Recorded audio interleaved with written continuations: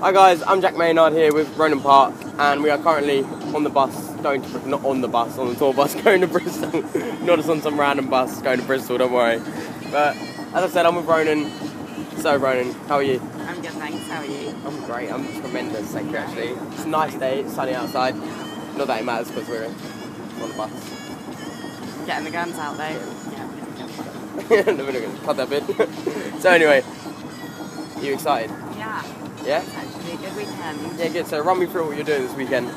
Right, so tonight we're going to Head Records and doing a signing there. and Okay. my new single.